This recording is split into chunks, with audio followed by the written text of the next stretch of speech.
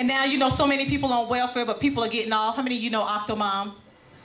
Octomom has been on welfare. That's the lady with the 14 children. She was getting $2,000 in food stamps. $2,000? What would we do if we got $2,000 in food stamps?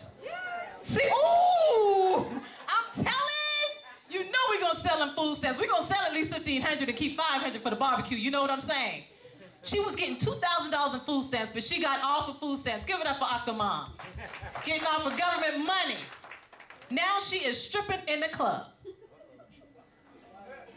What's wrong? What's wrong with that? She is dancing topless in the club, making $5,000 a night. Shh.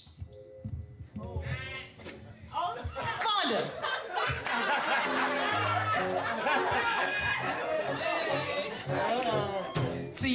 Y'all be acting funny. You know, like I got somebody in the back ready to make it rain.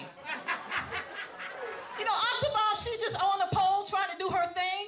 You know, what's wrong with pole dancing? Mm-hmm. What's wrong?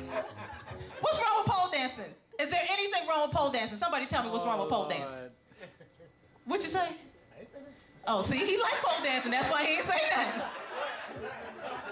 You know, there was a lady in Texas that brought pole dancing to the church. She called it pole dancing for Jesus. Folks was straight up mad with her. Pole dance, see, you gotta have an open mind. We got praise dancing, right?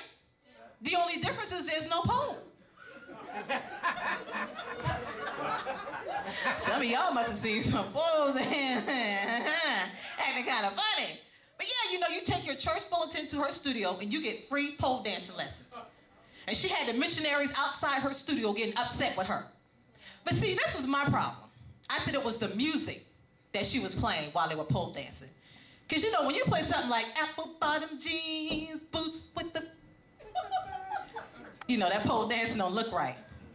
But see, church folks, we are drawn by our emotions through music, right? Now, see, if the pole, if the music had sounded a little something like this.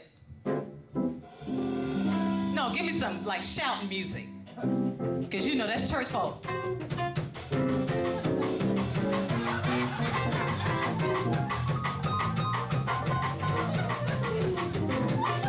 what I'm saying? See, the music was all wrong in the pole dancing. y'all shaking y'all head, but I'm telling y'all, pole dancing is coming to the church. And I'm gonna start it up. I ain't nothing wrong with that. Come on. Y'all be pole dancing anyway, you just do it with a bench and on the podium. Be trying to fake it, right?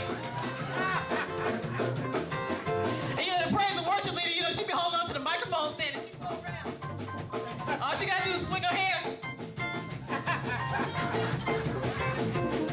Y'all probably wonder how do I know all of this stuff? I watch TV.